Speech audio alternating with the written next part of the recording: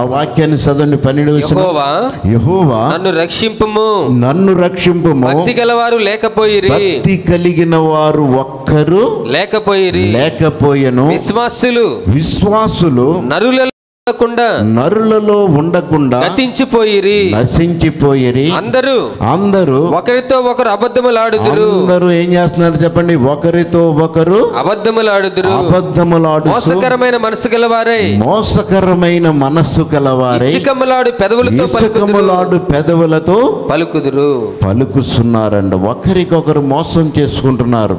యథార్థపరుడు భక్తిపరుడు దేశంలో లేకుండా అయిపోతున్నారు. దేవుడు మనకిచ్చినాక భక్తిహీనులు అవటానిక మన దేవుడు మనలను ఎందుకంటే ఆయన సమయాన్ని ఆయనకి ఇచ్చినప్పుడు వారు ఎంతగానో ఆశీర్వదించబడ్డారు. వారికి ఎక్కడ కొదవ లేదు. వారు దేవుని యొక్క ఆశీర్వాదాలు సమృద్ధిగా అనుభవించి దేవుని యొక్క మందిరములో వారు చేసిన పరిచర్య వారు చేసిన ప్రార్థనలు ఈ రోజు మన అందరికీ ఎలా ఉన్నాయి చెప్పండి? జ్ఞాపకార్థంగా రాయబడి ఉన్నాయి. వారు చేసింది ఎందుకంటే ఇది మనకు అవసరమై ఉన్నది. మనం రక్షించబడినాక మన కొరకు మనం బతకడం కాదు. పైనున్న వాటి మీద దృష్టి కలిగి భూ సంబంధమైన వాటి మీద మీరు ఎక్కువగా భక్తి కలిగి దృష్టి కలిగి ఉండకండి. ఎందుకంటే అనేకులు ఈ భూ సంబంధమైన వాటిని ఎందుకంటే కోరుకుని విశ్వాసములో భ్రష్టులైపోతున్నారంట. దేవుడికి ఇష్టలుగా దేవుని యొక్క మాటను ఎరిగిన వారు దేవుని రక్షణ ఆనందాన్ని అనుభవించిన వారు విశ్వాస భ్రష్టులైపోతారని ఆత్మ తేటగా చెబుతున్న దినాలు. దేవుడు చెబుతున్నాడు కనుక మనకు ఎంతవరకు ఇచ్చి ఉన్నాడో దేవుడు అంతతో అంతవరకు తృప్తి చెంది దేవుని దినాన్ని దేవునికి ఇచ్చి మీరు. ఎందుకంటే దేవుణ్ణి సంతోషపరచండి కనుక ఆనాడు విశ్వసించిన వారు అందరూ కూడా ఏకముగా కలుసుకున్నారు. ఈనాడైతే కలుస్తారు. దేనికి చెప్పండి? పొట్ట కూటి కోసం అనేకమైన స్నేహాలు చేస్తున్నారు. దేవుని మందిరంలోని కూడా వచ్చి అనేక రకాలైన పొట్ట కూటి కోసం దేవుడిచ్చిన ఆ దినాన్ని వాడుకుంటాం. అది దేవునికి ఎంతో బాధకరంగా ఉంది. ఆనాడు ఆయన గద్దించాడు నా మందిరమును మీరు దొంగల గృహగా వ్యాపార నిలయముగా చేస్తున్నారు అని. కనుక ఇవన్నీ కూడా ఆయన బిడ్డలు ఈ విధమైన పద్ధతిలో నడుస్తూ ఉంటే దేవుడు ఎంతగానో బాధపడుతూ ఉన్నాడు. అదే విశ్వాసములో కోల్పోయి దేవునికి దూరం అయిపోతూ ఉన్నారు. ఆయన దేవుడైతే మన కొరకు తండ్రి కుడి పాశ్చమన కూర్చుని ఏం చేస్తున్నాడు చెప్పండి? ఆయన ఈ లోకములో మనం ఇంకా పాపులుగా ఉండగానే మన కొరకు ఆయన చనిపోయి ఇంకా తండ్రి కుడి పాశ్చమన కూర్చుని అయ్యా ఇంకా గ్రహింపు లేని వారయ్యా వారికి రక్షణ ఇచ్చాను. నీ పరలోక రాజ్యం యొక్క శక్తిని చూపించిన ఇంకా నిన్ను తెలియని మనుషులుగానే ఉన్నారు. వారిని క్షమించమని మీ కొరకు ప్రార్థన విజ్ఞాపన చేయొచ్చు విజ్ఞాపన చేస్తున్నాడంట. ఎంత ప్రేమో చూడండి. ఆయన ప్రేమ ఎంత ప్రేమో. దేవునికి స్తోత్రము. అలా కనుక చూడండి రెండవ కొరింది మూడో అధ్యాయము పదహారు వచనంలో ఆయన ఏమంటున్నారు చెప్పండి? రెండవ వారి హృదయము వారి హృదయము ప్రభు వైపునకు ఎప్పుడు తిరుగును? వారి హృదయము ప్రభు వైపునకు ఎప్పుడు తిరుగును? అప్పుడు ముసుగు తీవేయబడును అప్పుడు వారిలో ఉన్న ఈ లోకపు ముసుగు తీసివేయబడును. తీసివేయబడును. ప్రభువే ఆత్మ. ప్రభు ఆత్మ. ప్రభు యొక్క ఆత్మ ఎక్కడ ఉండును? ప్రభు యొక్క ఆత్మ ఎక్కడ ఉండును? అక్కడ స్వాతంత్రం ఉండును. అక్కడ వారికి స్వాతంత్రం ఉండును. మనమందరమును మనమందరము ముసుగు లేని ముఖముతో ముసుగు లేని ముఖముతో ప్రభు యొక్క మహిమను ప్రభు యొక్క మహిమను అద్దము వలె ప్రతిఫలింపజేయచ్చు అర్థము వలె ప్రతిఫలింప చేయుసు మహిమ నుండి అధిక మహిమను పొందుచు మహిమ నుండి అధిక మహిమను పొందుచు. పొందుసు ప్రభువుకు ఆత్మ చేత ప్రభు యొక్క ఆత్మ చేత ఆ పోలికగానే ఆ పోలిక గాని మార్చబడుచున్నాము. ఆ పోలికగా ఎప్పుడు చెప్పండి? వారి మనస్సు ప్రభు వైపుకు ఎప్పుడు తిరుగుతుంది చెప్పండి? వారు వారి హృదయము వారి హృదయాలు ఎప్పుడైతే ఈ మాట విని దేవుని తట్టు ఎప్పుడైతే తిరుగుతారో అప్పుడు ముసుగు తీసివేయబడును. అప్పుడు పాపమనే ముసుగు ఈ లోకాశలనే ముసుగు నీ నేత్రాలలో నుంచి నీ హృదయ ఆలోచనలో నుంచి తీసివేయబడుతుంది. ఎప్పుడైతే దేవుని మీద నీవు ఆనుకుంటావో ఆకాశ పక్షులను పోషించే దేవుడను నేను మిమ్ములను పోషించలేనా? ఈ మాట ఎంత గొప్ప చెప్పండి. ఆకాశ పక్షులను పోషించేవాడను నేను మిమ్ములను పోషించలేనా? ఈ మాట మీద నిలబడిన వారు కొంతమంది ఉన్నారండి. మరీ లేనివారు కాదు. ఉన్నారు. దేవుని మాటను బట్టి నడుచుకునేవారు వారు వారి శక్తివంతమైన కార్యాలు దేవుని కార్యాలు చూస్తూనే ఉంటారు. వారి జీవితంలో ఎప్పుడు వారి విశ్వాసానికి ఎలాంటి ఆటంకం ఉండనే ఉండదు. కనుక దేవుడు అంటున్నాడు వారు ప్రభు వైపునకు ఎప్పుడు తిరుగుతారో వారి హృదయం ఎప్పుడైతే దేవుని తట్టు తిరుగుతుందో దేవుని మాట వినటానికి ఎప్పుడైతే ప్రయత్నం చేస్తారో అప్పుడు వారి మీదనున్న ముసుగు తీసివేయబడును. తీసివేయబడుతుంది. అప్పుడు దేవుని ఆత్మ వారికి దగ్గరగా ఉంటుంది. దేవుని ఆత్మ ఎక్కడ ఉంటుందో అక్కడ వారికి స్వాతంత్రము. స్వాతంత్రము సమాధానం ఉంటుంది. దేవుని ఆత్మ లేని వీళ్ళు అనేక కోట్లాస్తి సంపాదించి ధనవంతుడు. ఏం చేస్తున్నాడు చెప్పండి? ఆ ఇంటిలో సమాధానం లేని ధనవంతుడు ఉన్నాడు. డబ్బు లేదు లేదు లేదు అని అనేక మంది బాధపడుతూ ఉంటారు. డబ్బు వచ్చిన తర్వాత మన పరిస్థితులు వేరుగా ఉంటాయి. ఆ రోజు సమాధానం వేరుగా ఉంటుంది. ఎందుకంటే ఈ డబ్బు లేనప్పుడే బాగున్నానని అనిపిస్తూ ఉంటుంది ధనవంతుడికి దాచుకున్న తర్వాత. ఎందుకంటే ఆ డబ్బు ఏం చేస్తుంది చెప్పండి? ఎక్కువైనప్పుడు అది ఎంతో మనలను అనేక రకాలైన గర్వానికి నడిపిస్తుంది. అందుకే ఒక భక్తుడు అంటున్నాడు అయ్యా నాకు సాలినంత ఆహారం దయచేయి. ఎక్కువ ధనవంతుడినైతే దేవుడా దేవుణ్ణి నేను ఎవడని అంటానేమో. సామెతల గ్రంథం ముప్పై అధ్యాయములో ముప్పై అధ్యాయము. వ్యర్థమైన వాటిని వ్యర్థమైన అబద్ధములను అబద్ధములను నాకు దూరముగా నుంచుము. నాకు దూరముగా ఉంచుము. పేదరికమునైనను ఆ, ఐశ్వర్యమునైనను నాకు ఐశ్వర్యమునైనను దయచేయకము. నాకు దయచేయకము. తగినంత ఆహారము. నాకు తగినంత నాకు ఆహారము అనుగ్రహింపుము. నాకు అనుగ్రహింపము. ఎక్కువైన ఎడల. నేను ఎక్కువైన ఎడల. నేను కడుపు నిండిన వాడనై. నేను కడుపు నిండిన వాడనై. ఇల్లు విసర్జించి. నిన్ను విసర్జించి. యెహోవా ఎవడని అందునేమో? యెహోవా ఎవడని అందునేమో? లేక లేక వేదనై వేదనై దొంగిలి దొంగిలి నా దేవుని నామమును దూషించునేమో? దేవుడి నామమును నేను దూషిస్తానేమో? కనుక నన్ను ధనవంతుడిగాను ఉంచొద్దు సమృద్ధి కలిగిన వాడిగా ఉంచొద్దు. తగినంత. తగినంత నాకు ఎప్పుడు ఏది కావాలో అది నాకు దయచేయి. అధిక పేదరికాన్నైనా నేను భరించలేను. అధిక ధనవంతుడైతే నేను నిన్ను మర్చిపోతానేమో. నీ ఆజ్ఞలు మర్చిపోయి నా సునీతి వల్ల నడిచి ఇంకా వేరే శ్రమలు తెచ్చుకుంటానేమో. కనుక నాకు తగు మాత్రము దయచేయి. ఎందుకంటే ఈ జ్ఞానం నాకు ఇచ్చున్నావు. ఈరోజు నీ ఆజ్ఞ సప్పున నడిచిన వాడే మరి ఎంతో ధన్యుడు. అందుకే దావీదేమన్నాడు చెప్పండి? ఈ లోకములో నాకు ఎన్ని ఉన్నా నీవు లేకుండా నాకు ఏది కూడా అవసరం లేదు. నీ సన్నిధి లేకుండా నీ నోటి మాట లేకుండా నాకు ఎంత సంపాదించుకున్నా అది నాకు అవసరం లేదు. దావీదుకు ఎంతో ధనం ఉంది. ఎన్నో టన్నులు. ఎందుకంటే దేవుని ఆలయం కట్టడానికి అనేక రాజ్యాలను జయించి టన్నులు టన్నులు బంగారాన్ని సిద్ధపరిచాడు వెండి సిద్ధపరిచాడు ఇనుము సిద్ధపరిచాడు కర్రలను సిద్ధపరిచాడు. ఆ తర్వాత మందిరం కట్టాలి అనుకునేపాటికి దేవుడు అన్నాడు నీవు నా మందిరం కట్టడానికి అర్హత నీకు లేదు అన్నాడు. ఎందుకంటే నీ చేతులు రక్తము చిందించి ఉన్నాయి. నా పరిశుద్ధ ఆలయాన్ని కట్టడానికి అందరికీ అర్హత ఉండదు. ఆ ఆలయంలో నీతిమంతులుగా జీవించడానికి నేరస్తులకి అధికారం ఉండదు. కానీ అక్కడ దావీదుని ఎంతగానో దేవుడు ప్రేమించాడు.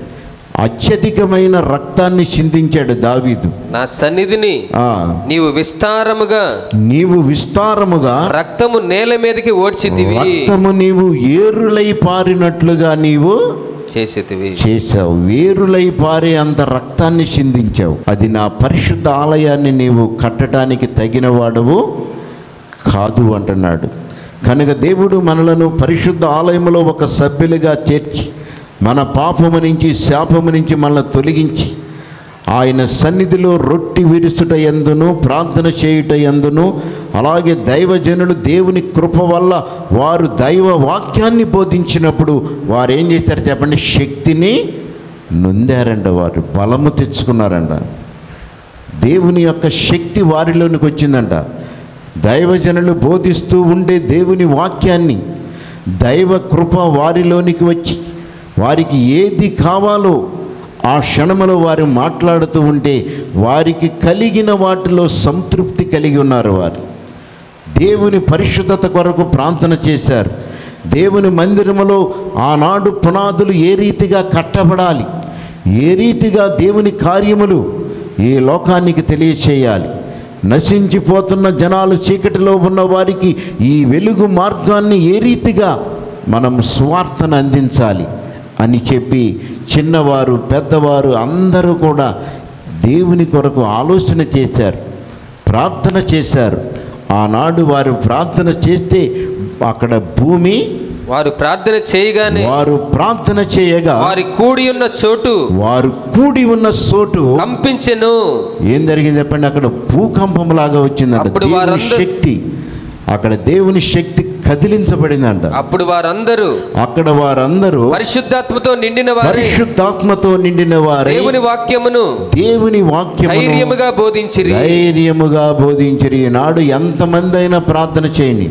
ఆ డామ్ డామ్ డామ్ అని ఆ వాయిద్యాలే సౌండే కానీ ఇంకా కదిలింపు ఏది కనబడతలేదు. ఎందుకంటే ప్రార్థన చేసే శక్తి ఎవరికి లేదు. ప్రార్థన అనేది ఎవరికి అవసరం లేదు. ఎందుకంటే టైం చూసుకోవటం. ఒక గంట ప్రార్థన గంటన్నర ప్రార్థనలో మీరు ఏమి నేర్చుకుంటారు? ఈనాడు గంటన్నర ప్రార్థనకి అరగంట ప్రార్థనకి ప్రాధాన్యత ఇస్తున్నారు. మళ్ళీ ఎమ్మటే ఉద్యోగానికి వెళ్ళిపోవాలని ఆలోచన చేస్తున్నారు.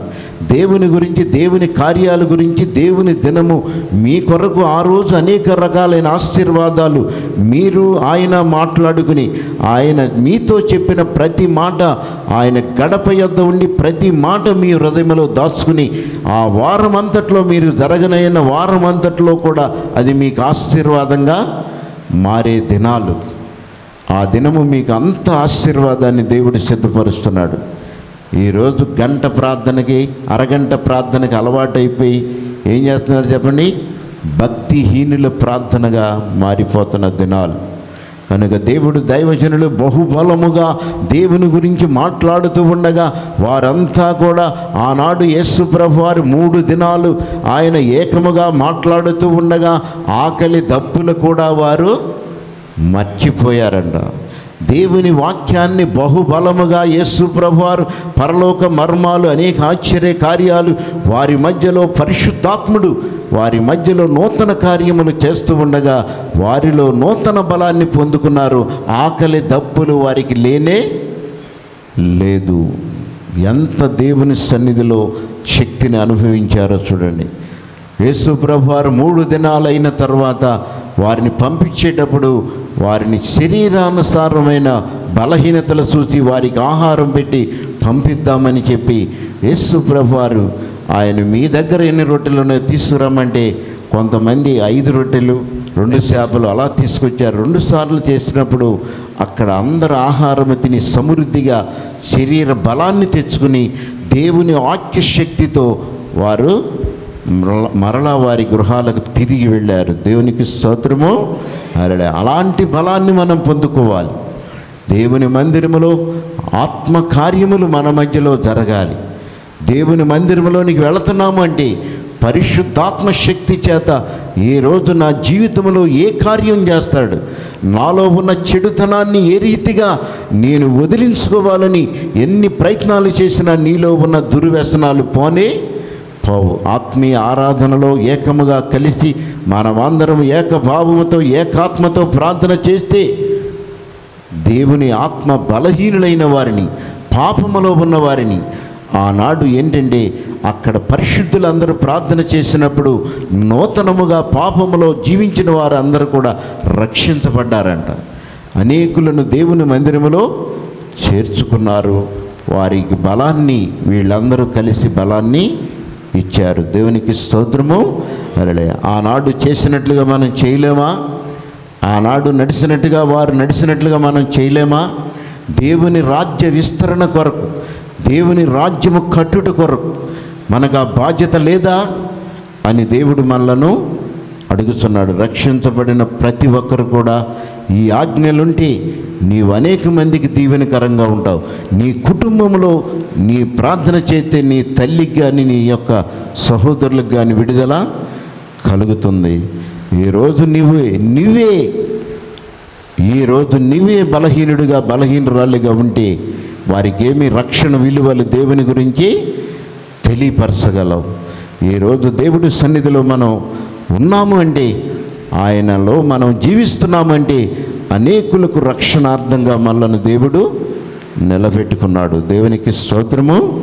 అలడే కనుక విశ్వసించిన వారందరూ ఆ పునాదుల మీద కట్టబడి విశ్వాసముతో ప్రార్థన చేయగా భూమి కంపించింది. అక్కడ పరిశుద్ధాత్ముడు వారి మీద నూతన కార్యాలు జరిగించాడు. ఆనాడు చూడండి నెహోము ఇరవై నాలుగో దినమందు ఈ నెల ఇరవై నాలుగవ దినమందు ఇస్రాయేలీలు ఉపవాసం ఉండి ఇస్రాయేలీలందరూ ఉపవాసం ఉండి గోనె పట్టలు కట్టుకొని గోనె పట్ట వారు కట్టుకుని తల మీద ధూళి పోసుకొని తన తల మీద వారు ధూళి పోసుకుని కూడి వచ్చిరి. కూడి వచ్చిరి. ఇస్రాయేలీలు ఇస్రాయేలీలు అన్యజనులందరిలో నుండి అన్యజనులందరిలో నుండి ప్రత్యేకింపబడిన వారై.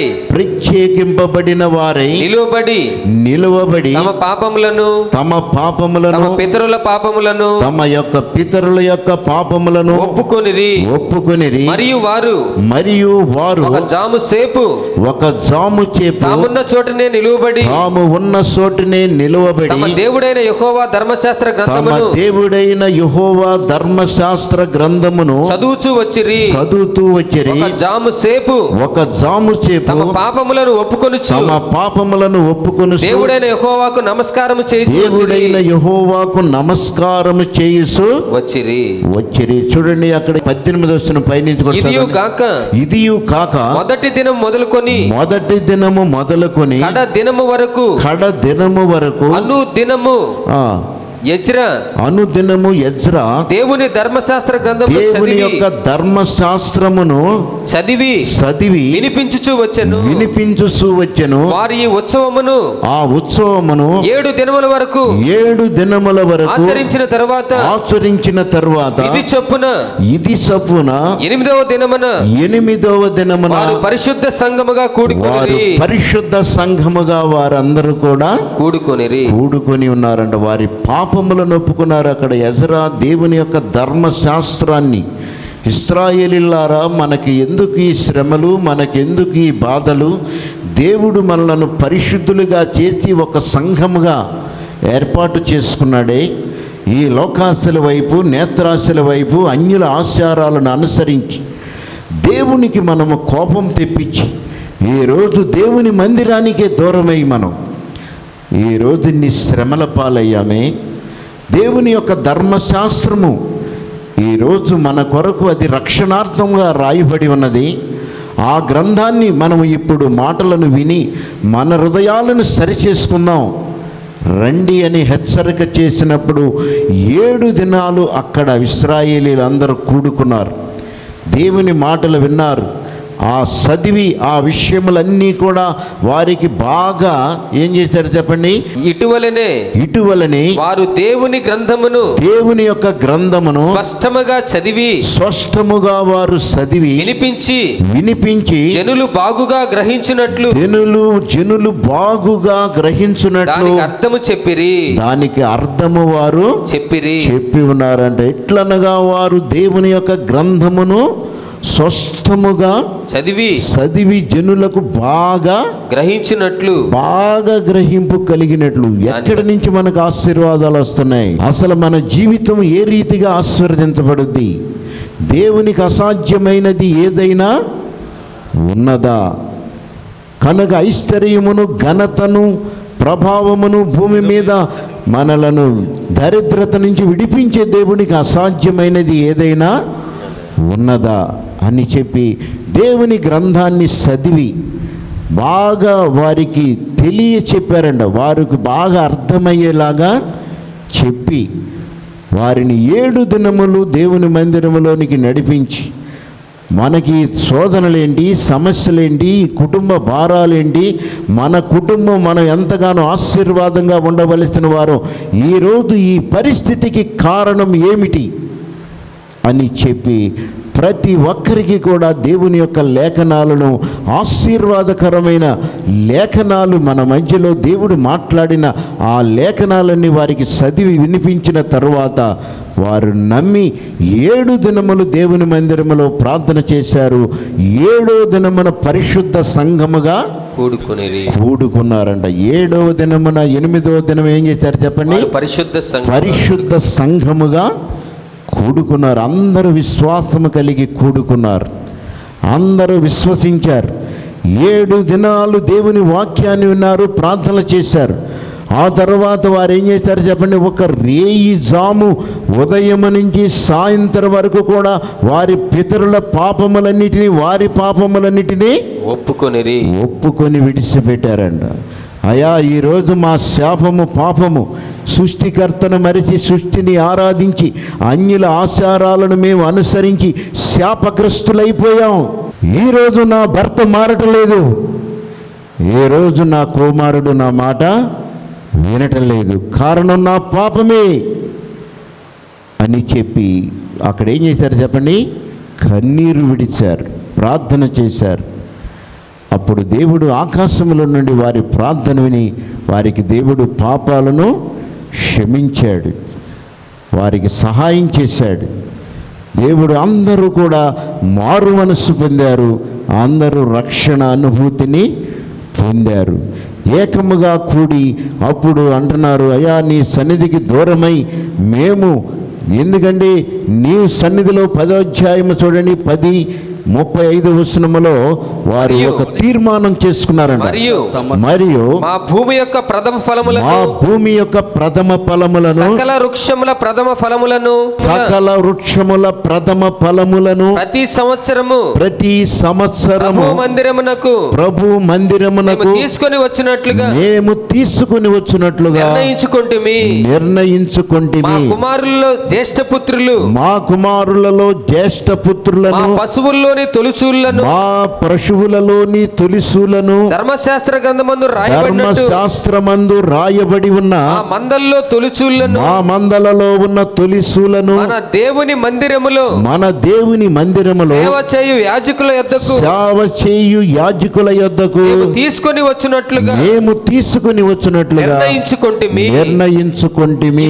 గాక ఇదియు కాక మా పిండిలో ప్రథమ ఫలము మా యొక్క ప్రతిష్టాత అర్పణలు ప్రతిష్టార్ప అర్పణలు సకల విధమైన వృక్షముల ఫలములు సకల విధమైన వృక్షముల ఫలములను ద్రాక్షరసము ద్రాక్షారసము నూనె నూనెయు మొదలైన వాటిని మొదలైన వాటిని మా దేవుని మందిరపు గదుల్లోనికి మా దేవుని యొక్క మందిరపు గదులలోనికి యాజకుల యొద్దకు తెచ్చినట్లుగాను యాజకుల యొద్దకు మా తెచ్చున్నట్లుగా భూమి పంటలో మా భూమి పంటను పదియో వంతును పదో వంతును లేవుల యొద్దకు తీసుకొని వచ్చినట్లుగా లేవీల యొద్దకు తీసుకుని వచ్చినట్లుగా పట్టణములోనున్న పంటలో. ప్రతి పట్టణములోనున్న మా పంటలో. మా పంటలు పదియో వంతును. పదో వంతును ఆ లేవీలకు ఇచ్చినట్లుగా ఆ లేవీలకు ఇచ్చినట్లుగా నిర్ణయించుకుంటుమి. నిర్ణయించుకున్నారండి. వారి పాపములను ఒప్పుకున్న తరువాత వారి జీవితంలో దేవునికి ఎక్కడ దూరం అయిపోయారు ఎక్కడ వారికి శాపము ఎక్కడ?